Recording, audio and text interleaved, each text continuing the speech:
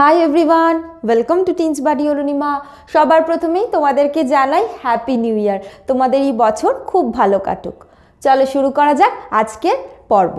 আজকের পর্বে সপ্তম শ্রেণির পঞ্চম চ্যাপ্টার মানুষের খাদ্য থেকে কার্বোহাইড্রেট প্রোটিন ও লিপিড নিয়ে আলোচনা করব। তাহলে প্রথম আজকের টপিক হলো কার্বোহাইড্রেট এই যে কার্বোহাইড্রেট কি জাতীয় খাদ্য?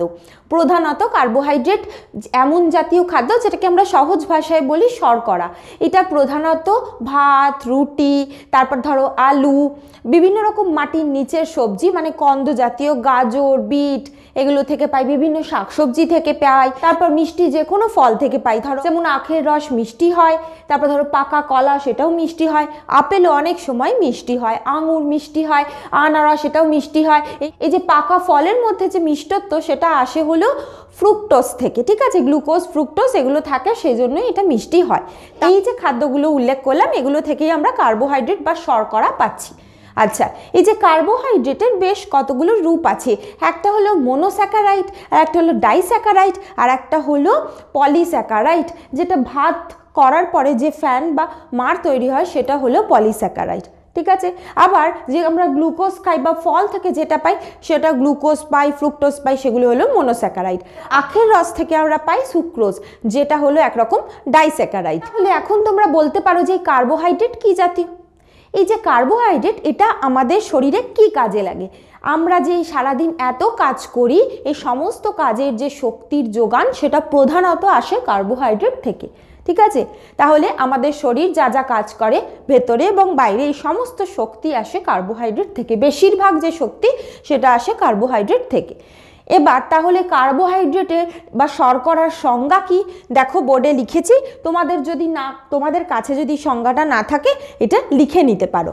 দেখো কার্বোহাইড্রেটের সংজ্ঞা হলো কার্বন হাইড্রোজেন ও অক্সিজেনের সাহায্যে গঠিত শক্তি উৎপাদনে সহায়ককারী যে জৈব যৌগ হাইড্রোজেন ও অক্সিজেনের টু ইস টু অনুপাতে থাকে, তাকে বলছে কার্বোহাইড্রেট।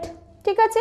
আচ্ছা তাহলে এটা তিনটে জিনিস দিয়ে গঠিত, carbon, hydrogen, oxygen. Carbon, hydrogen আর অক্সিজেন দিয়ে গঠিত। ঠিক আছে? এটার প্রধান কাজ হলো কি? শক্তি উৎপন্ন করা।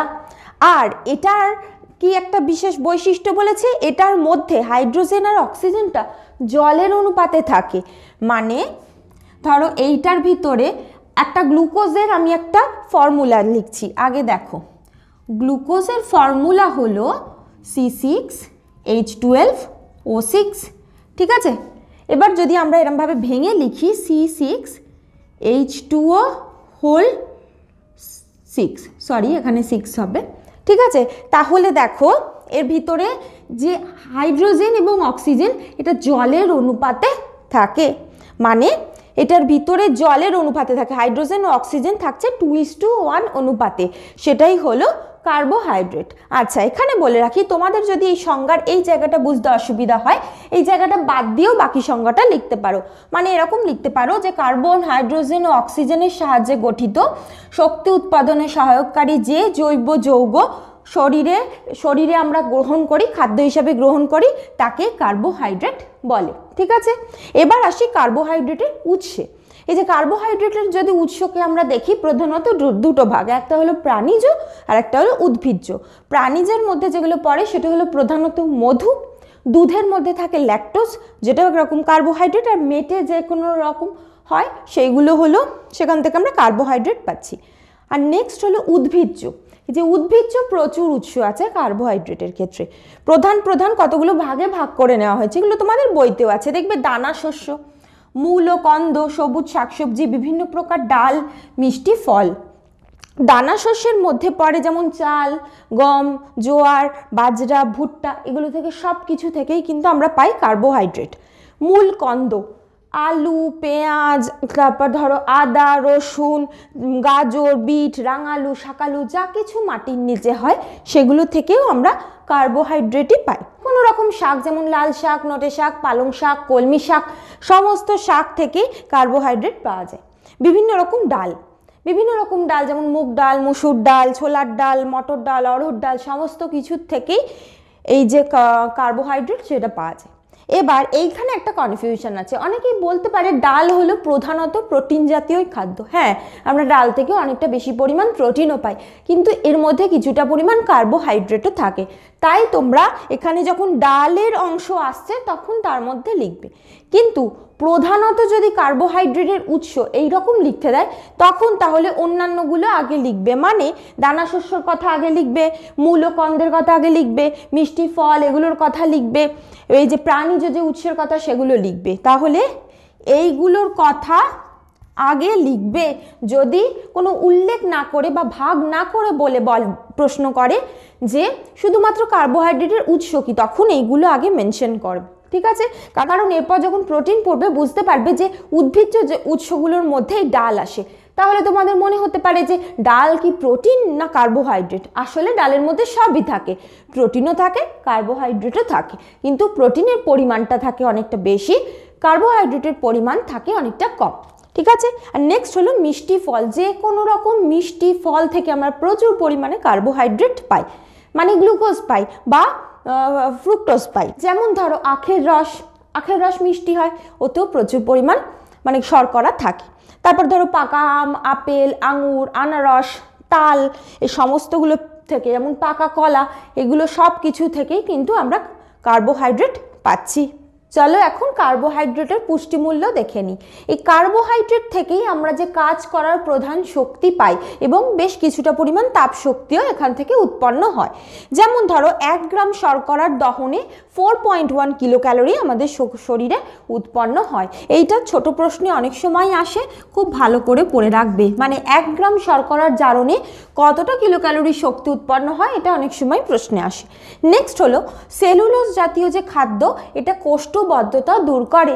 মানে আমরা যে এই কার্বোহাইড্রেটের মধ্যে বলেছিলাম, বিভিন্ন রকম শাক মানে সবুজ শাক, যেমন ধরো নোটে শাক, পালং শাক, তারপর লাল শাক, এই সমস্ত যে শাকগুলো, সেগুলোর মধ্যে প্রচুর পরিমাণ সেলুলোস থাকার জন্য এটা আমাদের শরীরে কোষ্ঠবদ্ধতাকে দূর করে এবং শরীর থেকে সমস্ত যে দূষিত বর্জ্য, সেগুলোকে বার হয়ে যেতে সাহায্য করে। তাহলে এই দুটো হলো এই কার্বোহাইড্রেটের পুষ্টিমূল্য। এবার আসি কার্বোহাইড্রেটকে বলে হলো প্রোটিন বাঁচোয়া খাদ্য, অর্থাৎ কোনো প্রাণী যদি প্রোটিন জাতীয় খাদ্য গ্রহণ নাও করে, শুধুমাত্র কার্বোহাইড্রেট জাতীয় খাদ্য খায়, তাহলেও সে বেঁচে থাকতে পারে। সেই জন্য কার্বোহাইড্রেটকে বলে হলো প্রোটিন বাচোয়া খাদ্য? অনেক সময় এটা ছোট প্রশ্নে আসে যে প্রোটিন বাচোয়া খাদ্য কাকে এবং কেন বলে? কাকে বলে? সেটা হলো কার্বোহাইড্রেটকে বলে এবং কেন বলে? সেটা হলো এই মানে কোনো প্রাণী যদি সারা জীবনে সে প্রোটিন না গ্রহণ করলেও শুধুমাত্র কার্বোহাইড্রেট গ্রহণ করে, তাহলে সেই কার্বোহাইড্রেটই শরীরের মধ্যে গিয়ে সামান্য পরিমাণে প্রোটিন পরিবর্তিত হয়ে যেতে পারে এবং সেটা দিয়ে সে সারা জীবন বেঁচে থাকতে পারে। সেজন্য এটাকে বলে হলো প্রোটিন বাচোয়া খাদ্য। পরের প্রশ্ন দেখো, বোর্ডে লিখেছি যে কার্বোহাইড্রেট থেকে আমরা কীভাবে কাজ করার শক্তি পাই? যখন আমরা খাদ্য খাই মানে কার্বোহাইড্রেট জাতীয় খাদ্য খাই, সেই কার্বোহাইড্রেট ভেঙে গিয়ে গ্লুকোজে পরিণত হয়। তারপর সেই গ্লুকোজ আমাদের অন্ত্রের মাধ্যমে শোষিত হয়ে রক্তের মাধ্যমে প্রত্যেকটা কোষে চলে যায়।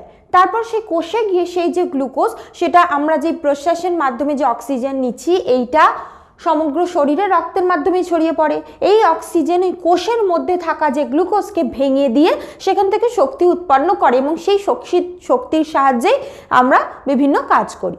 নেক্সট প্রশ্ন হলো, মধুমেহ কি? মধুমেহ বা ডায়াবেটিস যেটা আমরা জানি যে ডায়াবেটিস মেলিটাস সেটা কি? অনেক সময় এটা ডায়াবেটিস মেলিটাস দিয়েও প্রশ্ন আসে, জেনে রাখবে। এটাকে বলে ডায়াবেটিস মেলিটাস ওকে এটা কি? এটা হলো আমরা যখন খাদ্য খাই, খাদ্য খাওয়ার পরেই আমাদের যে রক্তের যে গ্লুকোজের মাত্রা সেটা বেড়ে যায়, ঠিক আছে?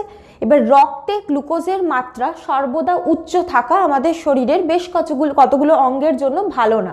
যেমন বৃক্ষ আমাদের চোখ, হৃৎপিণ্ড আমাদের পেশি এগুলোর জন্য ভালো নয়। সেই জন্য আমাদের শরীরের যে অগ্নাশয় অগ্নাশয় আছে, অগ্নাশয় থেকে একটা হরমোন খরিত হয়, সেটার নাম হলো ইনসুলিন।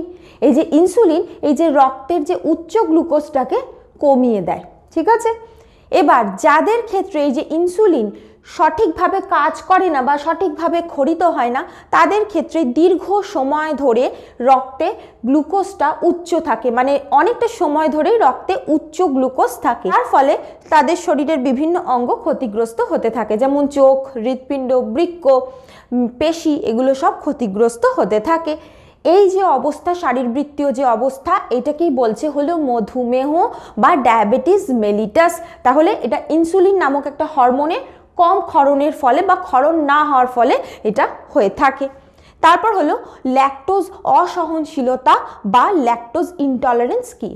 অনেকের ক্ষেত্রে, অনেক শিশুদের ক্ষেত্রে এটা এটা দেখা যায়, অনেক বৃদ্ধদের ক্ষেত্রে দেখা যায় বা অনেক সময় এটা একটা লোক স্বাদের সারা জীবন, জীবৎকালীন সময়ও দেখা যায় যে তারা দুধ বা দুগ্ধ জাতীয় কোনো প্রোডাক্ট মানে দুধ থেকে তৈরি যে কোনো জিনিস খেলে তাদের একটা অ্যালার্জির মতো জিনিস হয়।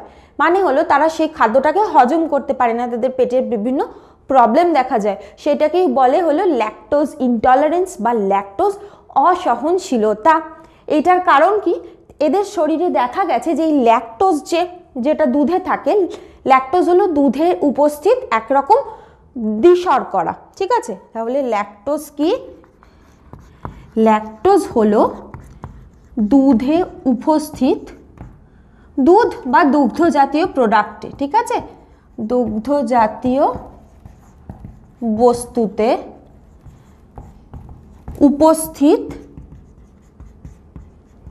দ্বি শর্করা ওকে দ্বি শর্করা মানে দুটো শর্করা যুক্ত হয়ে একটা শর্করা তৈরি হয়েছে। এই যে ল্যাকটোজ আসলে গ্লুকোজ আর গ্যালাক্টোজ দিয়ে তৈরি। এটাও জেনে রাখো। এর পরে ছোট প্রশ্নই আমি এগুলো নিয়ে ডিটেলস আলোচনা করব। গ্লুকোজ আর গ্যালাক্টোজ, ঠিক আছে? এবার এই যে ল্যাকটোজকে হজম করার জন্য আমাদের পরিপাকতন্ত্রে একরকম উৎসেচক খরিত হয়। সেটার নাম হলো ল্যাকটেজ এবার ল্যাকটেজই এই ল্যাকটোজটাকে ভাঙতে সাহায্য করে, ঠিক আছে? উৎসেচকটার নাম হলো কি? ল্যাকটেজ এবার যাদের শরীরে এই ল্যাকটেজ থাকে না তাদের শরীরে এই ল্যাকটোজ ভাঙতে পারে না বা হজম করতে পারে না। তার ফলে তাদের শরীরে বিভিন্ন রকম প্রবলেম হয়। পেটের প্রবলেম হয়, অনেক সময় অনেকের বমি হয়ে যায়, অনেকের অনেক সময় ডায়রিয়া টাইপ হয়ে যায়, ঠিক আছে? তা সেটাকেই বলছে হলো ল্যাকটোজ ইনটলারেন্স বা ল্যাকটোজ অসহনশীলতা। এখন কার্বোহাইড্রেটের বিভিন্ন ভাগ নিয়ে আলোচনা করব। এটা তোমাদের ডিটেলস মুখস্থ করার কোনো প্রয়োজন নেই। এটা শুধু বুঝে রাখো, কারণ এখান থেকে দুটো তিনটে ছোট প্রশ্ন আসে। এবার চলো দেখে নিই এই কার্বোহাইড্রেটের ভাগগুলো কি কি। শর্করাকে প্রধানত তিন ভাগে ভাগ করা যায় মোনোস্যাকারাইড বা এক শর্করা ডাইস্যাকারাইড বা দ্বিশর্করা পলিস্যাকারাইড বা বহু শর্করা। এবার এই যে মনোস্যাকারাইডকে যদি দেখি মনো মনো শব্দটা একের সাথে যুক্ত মানে একটাই শর্করা আছে এটাতে। যেমন গ্লুকোজ ফ্রুক্টোজ গ্যালাক্টোজ এগুলো সবই হলো মনোশর্কর মনোস্যাকারাইড এইগুলোই রক্তে মানে আমরা যখন ধরো কোনো ধরো ভাত খেলাম, রুটি খেলাম, সেটা গ্লুকোজ হিসাবে আমাদের দেহে শোষিত হলো। দুধ খেলাম, সেটা বদলে গিয়ে গ্যালাক্টোজ আর গ্লুকোজ হিসাবে বদলে গেল এবং তারপর শোষিত হলো। আর ফ্রুক্টোজ, যখন ফল খেলাম, সেটা সুক্রোজ ভেঙে গ্লুকোজ আর ফ্রুক্টোজে পরিণত হলো এবং সেটা শোষিত হলো, ঠিক আছে? তার মানে এই যে মোনোস্যাকারাইড বা এক শর্করা এগুলোই আমাদের শরীর শোষণ করতে পারে, ঠিক আছে? তারপর হলো ডাইস্যাকারাইড বা দ্বি শর্করা মানে দুটো শর্করা জুড়ে এখানে একটা শর্করা তৈরি করেছে। যেমন ল্যাকটোজ মল্টোজ, সুক্রোজ। ল্যাকটোজ থাকে হলো দুধে, ঠিক আছে? এটা থাকে হলো দুধে। এই যে সুক্রোজ, এটা থাকে হলো আখের রসে, ঠিক আছে? তাহলে বা যে কোনো রকম ফলের রসেও থাকে। তাহলে উৎস এই দুটো হলো। এবার যে এই যে ল্যাকটোস ল্যাকটোস আসলে গঠিত হলো দুটো এই মনোস্যাকারাইড দিয়ে, একটা গ্লুকোজ আর একটা গ্যালাক্টোজ তাই যখন ল্যাকটোস ভেঙে যায় গ্লুকোজ আর গ্যালাক্টোজেই পরিণত হয়।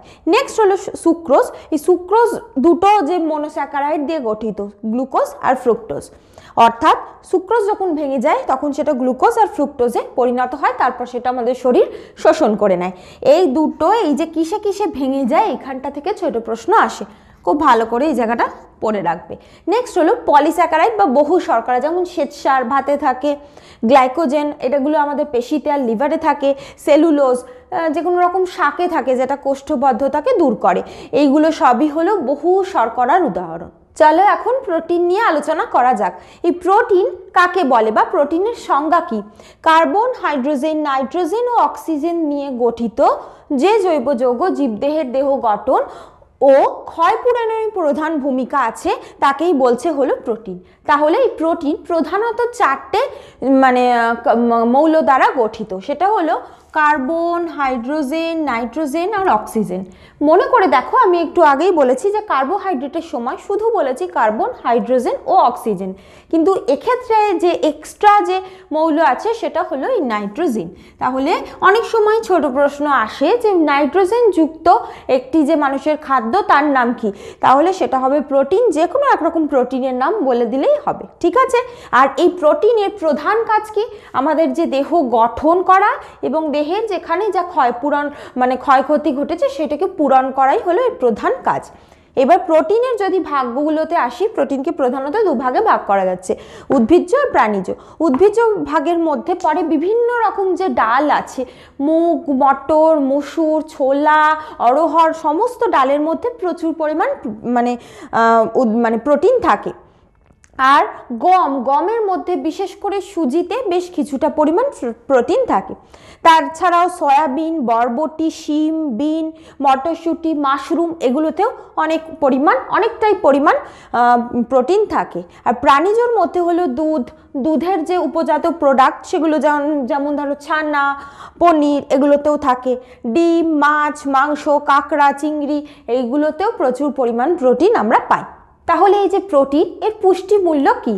এই প্রোটিনের প্রথম এবং প্রধান কাজ হলো জীবদেহ গঠন ও ক্ষয়পূরণে সাহায্য করা। মানে এই প্রোটিনের জন্য জীবদেহ গঠন হয় এবং ক্ষয়পূরণ হয়। কোথাও কেটে গেল শরীরের বাইরে বা ভিতরে, সেই জায়গার ক্ষত এই প্রোটিনের দ্বারাই নিরাময় হয়।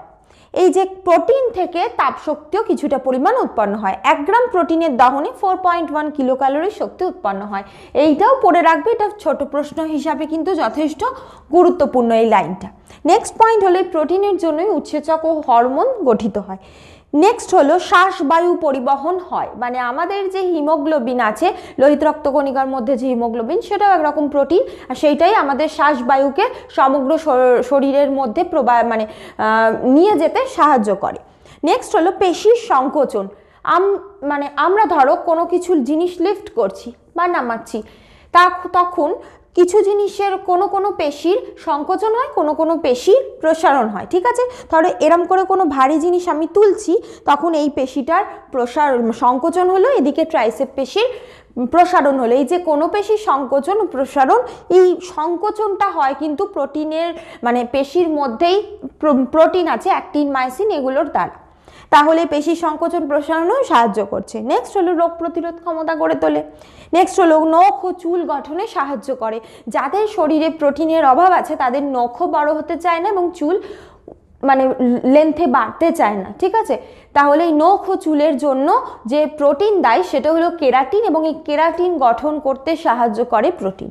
এই জায়গায় একটা কথা বলে রাখি, কেরাটিন কোনোভাবেই শরীরে বাইরে থেকে এক্সট্রা চাপানো যায় না।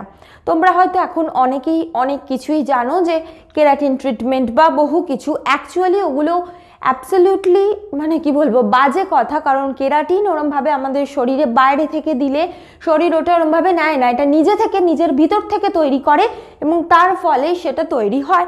কিন্তু আমরা এই কেরাটিন বাইরে থেকে নিতে পারি না। কিন্তু কেরাটিন যাতে প্রোটিন গঠিত হয়, তার জন্য কতগুলো মানে শরীরকে সাহায্য করতে পারি, যেমন প্রোটিন বেশি করে খেতে পারি ভিটামিন বি কমপ্লেক্স ভালোভাবে নিতে পারি, তার ফলেও কিন্তু আমাদের এই যে নখ ও চুলের গঠন খুব ভালো হতে পারে। নেক্সট পয়েন্ট হলো ক্ষত স্থানে রক্ত জমাট বাঁধা। ধরো কোথাও কেটে গেছে, সেই জায়গাটায় তো রক্ত জমাট বাঁধা প্রয়োজন, তাই তো? নয়তো কন্টিনিউয়াস রক্ত বেরিয়ে যাবে, সেটা তো কাম্য নয়। সেই জায়গায় যে রক্ত জমাট বাঁধা, সেইটাও হয় ফাইব্রিনোজেন একটা প্রোটিনের জন্য ফাইব্রিন তৈরি হয়। যে ফাইব্রিনোজেন এটাও একরকম প্রোটিন চলো এখন দেখে নিই আমাদের শরীরের কোন কোন স্থানে কোন কোন প্রোটিন থাকে। যেমন আমাদের চুল ও নখে থাকে কেরাচিন আমাদের পেশিতে থাকে অ্যাক্টিন মায়াসিন, লোহিত রক্তকণিকা থাকে হিমোগ্লোবিন, রক্তের প্লাজমাতে থাকে গ্লোবিউলিন ও ফাইব্রিনোজেন, এই দুটোই থাকে রক্তের প্লাজমাতে, ঠিক আছে? কোলাজেন থাকে হলো অস্থি, টেন্ডন, লিগামেন্ট এগুলোতে। এইগুলোর জন্যই কিন্তু এই অস্থি পেশির সাথে যুক্ত থাকে। এই যে প্রোটিন, এটা অতিরিক্ত গ্রহণ করলেও কিছু সমস্যা আছে আর এটার অভাবেও বেশ কিছু সমস্যার সৃষ্টি হয়। প্রোটিনের অতিরিক্ত গ্রহণ করলে সেটা হয় বাত হয় শরীরে, কিডনি স্টোন হয়, এগুলো হয়।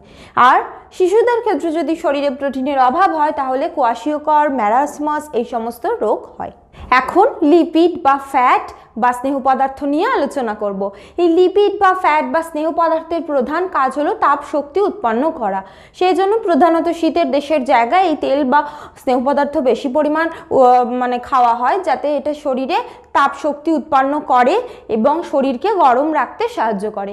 চলো তাহলে এখন সংজ্ঞাটা দেখে নিই কার্বন, হাইড্রোজেন ও অক্সিজেনের সহযোগে গঠিত যে জৈব যৌগ প্রধানত তাপশক্তি উৎপাদনে উৎপাদন করে, তাকেই বলে ফ্যাট বা লিপিড বা স্নেহ পদার্থ। এটাও কার্বোহাইড্রেটেরই মতো কার্বন, হাইড্রোজেন ও অক্সিজেন দ্বারাই গঠিত। তাহলে শুধুমাত্র যদি এরকম প্রশ্ন আসে যে নাইট্রোজেন আছে এরকম একটা খাদ্য কি? সেটা হবে যে কোনো একটা প্রোটিনযুক্ত খাদ্য, ঠিক আছে? এবার এই যে লিপিডের কতগুলো ভাগ আছে? উদ্ভিজ্জ আর প্রাণীজ। উদ্ভিজ্জর মধ্যে নারকেল হলো একটা মানে এই ফ্যাটের একটা মানে রিচ সোর্স তাছাড়াও তিলের তিল, বাদাম রেড়ি বীজ বিভিন্ন রকম বীজ থেকেই আমরা প্রধানত এই ফ্যাট উদ্ভিজ্জ যে ফ্যাট সেটা পাই। প্রাণীজ ফ্যাটের মধ্যে পড়ে ঘি, মাখন, চর্বি, মাছের তেল, মাংস এগুলো থেকেও পাই। সবচেয়ে বেশি পরিমাণ ঘি, মাংস, চর্বি, মাছের তেলেও সামান্য পরিমাণ থাকে, মাংসে। এমনি চিকেনের মধ্যে এটা যথেষ্ট কম পরিমাণ থাকে রেড মিটে যে কোনো রেড মিটে এটার পরিমাণটা আরেকটু বেশি থাকে।